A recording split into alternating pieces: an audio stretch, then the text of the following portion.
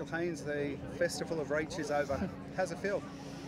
Yeah, I'm surprisingly I've held it together a bit more than what I thought I would. I think I was, yeah, it's, it's been a strange week to, to sort of process. And when I announced my retirement six weeks ago, I knew I was ready for, for the next challenge. But yeah, this week I've certainly been in more of a reflective mood and, and certainly noticed at different times. Um, yeah, I suppose feeling a bit more emotional about the decision um, than what I had been leading up to it. But yeah, by the same token, I, I know that I'm certainly ready for the next challenge. And um, despite the result tonight, was was able to enjoy just spending one last time out there. Has it hit you? Oh, it probably will at some point, I'm sure. Uh, yeah, probably when you know the Aussie girls start playing again and, and all those sorts of things, and um, I suppose the game just rolls on. But yeah, for the for the time being, I, will certainly just enjoy this moment in the sheds with the, the playing group, and um, yeah, I, I, suppose get ready for what's next. I think one of the great things about today and tonight is it, it's shown how worthwhile your career has been to a lot of people. It's meant a lot to them. Um, did you think that could be the case when you started playing cricket all those years ago as a, a school kid?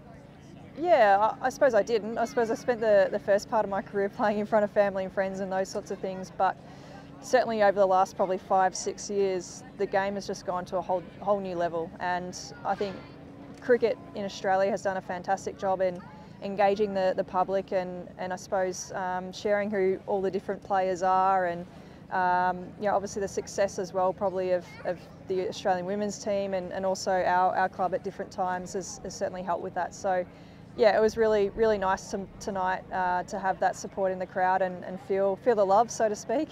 Um, and yeah, obviously incredibly appreciative towards the, the effort that's gone into it. Rach, you've, um, you've ridden the highs and lows of um, Sydney Thunder's first eight seasons. I want to ask you what the highlight was because that'd be pretty hard, but um, what stands out in your mind? Like, how do you think you'll look back on your career in the green?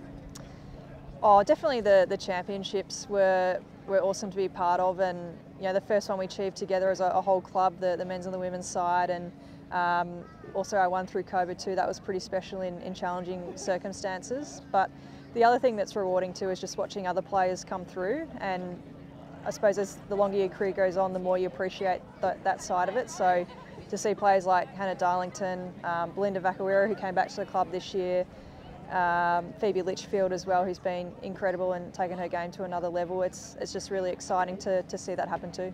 That's great. And finally, any words of wisdom or any advice to, and or any shout outs to the, the people who have supported you? Oh look, obviously I'm incredibly grateful to, to all the support I've received over my career, not just from my family, but from the whole game, whether it be my, my club, um, coaches, administrators. I think to play at this level, it's not something you achieve by yourself. You certainly need the support of those around you. And, and probably the other thing I, I want to recognise is just the, the women who really laid the foundation for me and for others who get to enjoy it now as players. Um, you know, they did the, the hard yards and, uh, you know, probably weren't rewarded in the same way that we've been able to, but I, I just feel incredibly grateful to them um, who, who um, yeah, laid that foundation and also the administrators at the time who continued to push for us as well. Well, Rachael, you've left a great legacy and set a huge benchmark. Thank you for everything. Thank you.